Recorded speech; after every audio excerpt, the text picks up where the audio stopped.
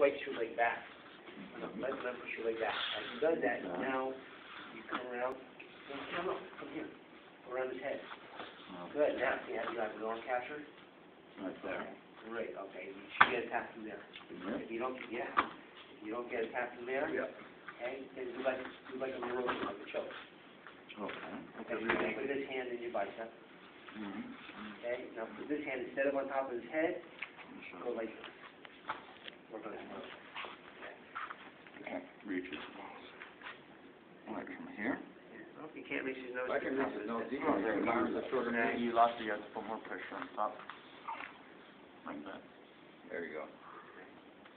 Okay, number three, since you're still on the side, once you have this move right here, Mm-hmm. okay, grab this opposite leg, come underneath, clasp your hands, and now cradle.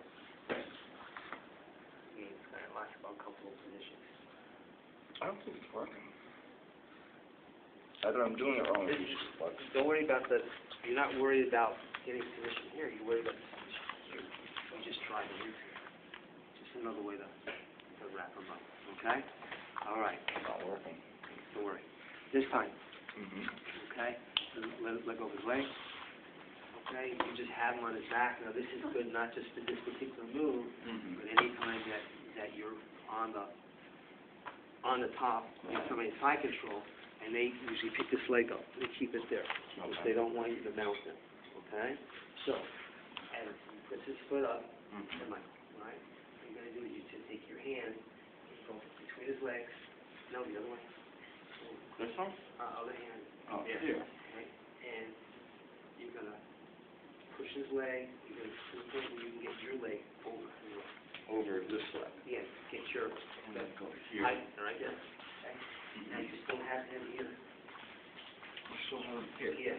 You, you know, twist it up here. Yeah. He's like, he's, like a, he's like a pretzel. You got him going in two, two different directions. Okay? Really flexible.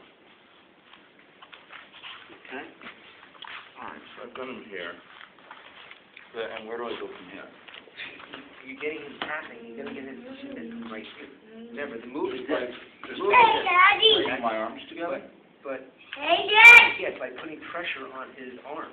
Hey, Daddy! Watch out!